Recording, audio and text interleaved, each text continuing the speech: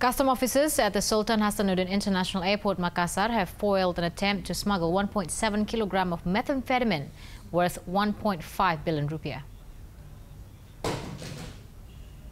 The South Sulawesi Police Narcotics Unit has also arrested three Malaysian citizens, Satya Silan Subramaniam, Kalai Selvan Sivanasan, and Tamor, Tamor Daran Ravagan, involved in the drug smuggling case. Custom officers were suspicious of Satya's movement and immediately checked his suitcase, where they found a 1.7 kilogram of meth. The two suspects, Kalai and Sivanasan, are arrested in Parepare, South Sulawesi.